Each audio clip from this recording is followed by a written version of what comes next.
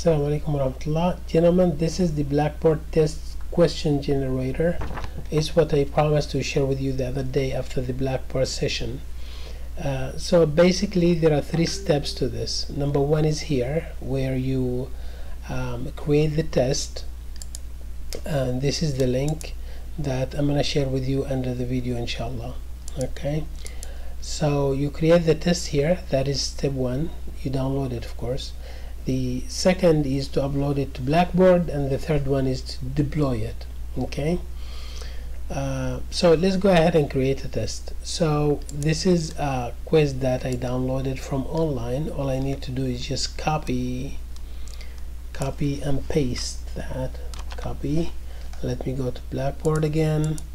Uh, no, not Blackboard but to the, um, the generator here and then paste that okay now one important thing what you need to have is only the questions okay?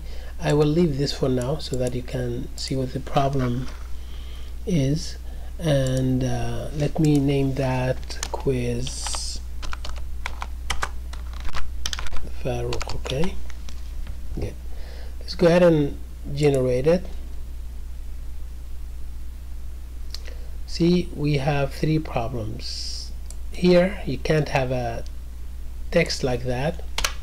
Delete it. Here um, you need to add an asterisk by the correct question. That way the generator will understand that this is the correct answer. So um, here I know it is C so I'm gonna go ahead and add that. And then here the answer is uh, all the above. It is D okay?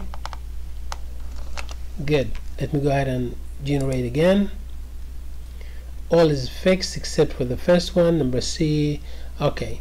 Now you need to have only one line of, for the answer. Let me go ahead and delete that for now. Okay. Generate the text all is good to go. Now step number one is done. Added the quiz added answers by the correct answers download the, uh, the questions. Second step is uploading the quiz to Blackboard.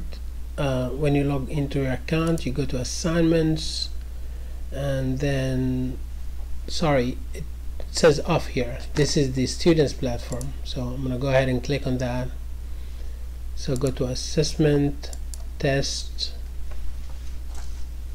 create. Let's call that quiz okay? Go ahead and submit that. Now we created the quiz. We upload the questions because it's already downloaded remember? Let's put two points for each question. Go ahead and browse. Uh, we called it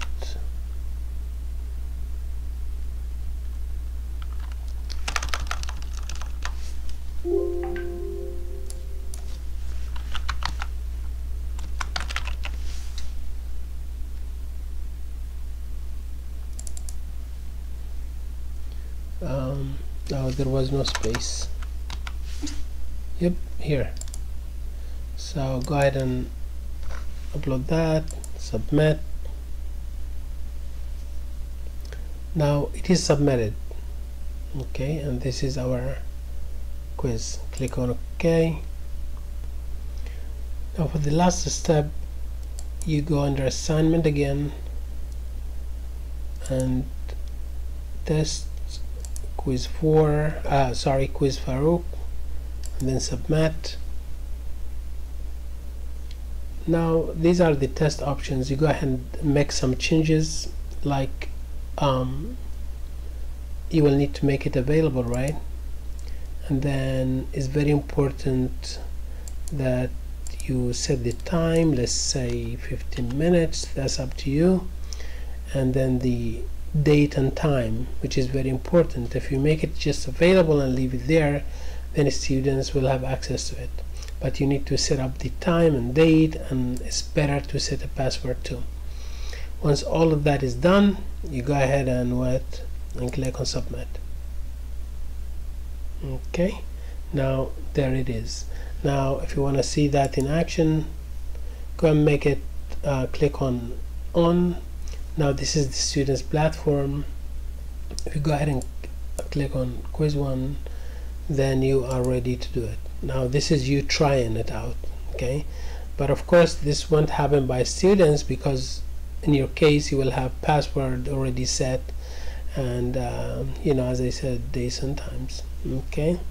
Now when you actually um, have the uh, quiz administered then you ask your students to log in go to assignments and then um, this is what they will see. Thank you very much